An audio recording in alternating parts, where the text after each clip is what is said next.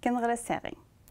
Generalisering av ferdigheter er når lærte ferdigheter brukes i det hverdagslige og over tid. Å lære et barn en ny ferdighet alene uten at det blir generalisert, har lite verdi. F.eks. et barn som lærer seg å be om saft inne på treningsrom med en voksen, er viktigheten av å bruke det inne på avdeling, hjemme hos mor og far eller hos besteforeldre kjempeviktig for at denne ferdigheten skal være eh, god for barnet. Og det er viktig at vi tenker på dette her når vi jobber med barn med autismespekterforstørrelser. Fordi de kan ha problemer for denne overføringen. Og det er at de ønsker gjerne at ting som de jobber med, blir gjort med den enkelte person. De ønsker lite skifte.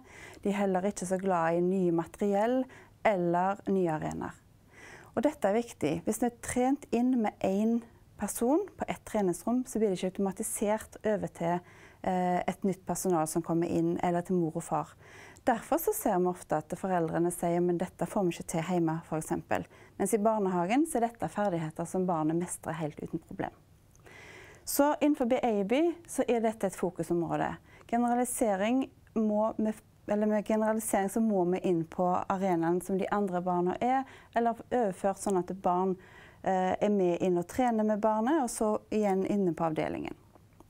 Så når blir generaliseringen gjennomført, og når er det fra overføring fra trening til generalisering? Jo, det skjer når barnet eh, har en mestring på en aktivitet eller en eh, ting som man har lært seg, f.eks. lek. Vi har jobba med togbane over tid, og nå klarer barnet det selvstendig inne på treningsrom med et voksent menneske eller en voksen trener. Da er det viktig at vi ønsker å få denne treningen i lag med andre barn. Vi har kanskje trening med andre barn inne på treningsrom før vi tar det på avdeling. Og det kan være nytt materiell vi bruker. F.eks. fra å ha to gule togvogner, så bruker vi nå grønne. Eller vi tar inn eh, ei bru, men har, eh, det er en togbane allikevel. Så det er viktig at vi bruker forskjellig materiell.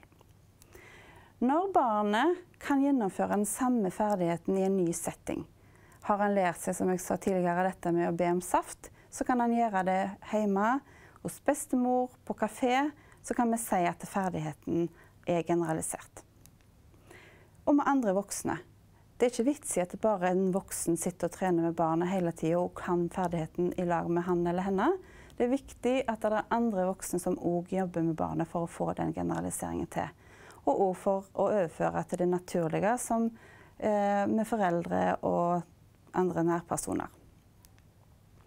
Med andre barn når ungene lærer spesielt lek og sosiale ferdigheter, så er det viktig at de får lære med andre barn. De har kanskje søsken, søskenbarn, lekekamerater som vi ønsker at barna skal gjennomføre eller vise sine ferdigheter til. Så når de en, kan leke med et annet barn, eh, eh, så kan vi se at den lekeferden er generalisert. Og ikke minst at vi ønsker at ferdigheten sitter over tid. At ikke det forsvinner til ei uke eller to eller tre måneder, men at ferdigheten kan vises igjen om en, et halvt års tid eller et års tid. Da kan vi si at denne ferdigheten har barnet generalisert.